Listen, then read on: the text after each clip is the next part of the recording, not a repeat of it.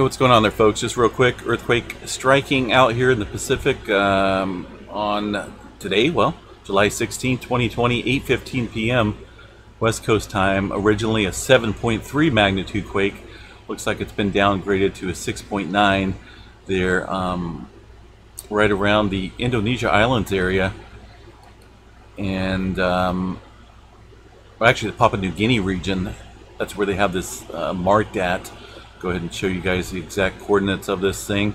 I am not seeing it show up on the seismograph stations, which is kind of strange, but then again, I uh, just noticed a little time issue there. So I'll have to keep an eye on that. Either way, this earthquake showing up on the USGS website as well as the EMSC website um, and also on the tsunami.gov website.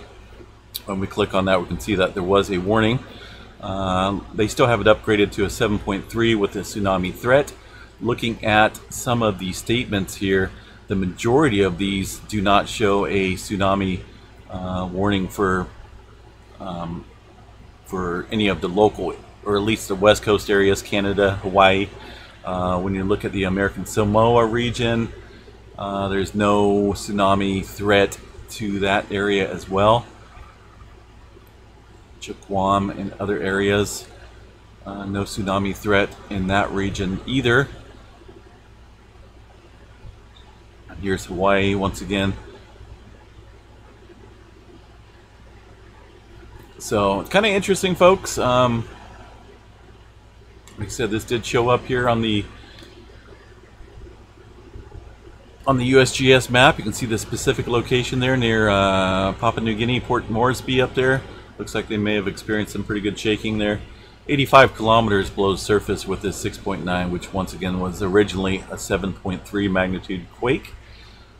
And like I said, it just has not shown up on these seismograph stations here, so I'm going to have to find out what's going on with it. Uh, you know, taking a look at these shows uh, no sign of an earthquake at all anywhere on these. And these things are supposed to be current in real time. Uh, but like I said, I looked at the timestamp up here and it's a little off. So I'm not for sure what's going on with it.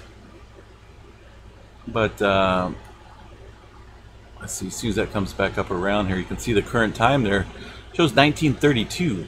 So either that's behind or I'm in the future or something weird is going on. But either way, I uh, went ahead and did this update video since multiple sources are reporting this 6.9, originally a 7.3 there. Tsunami threat looks like it has died down uh, with no um, no areas of concern, possibly localized maybe, uh, but with the downgrade there, that's probably a good thing as far as the tsunami threat goes. Anyway, folks, we can jump off here and we'll be on the live stream.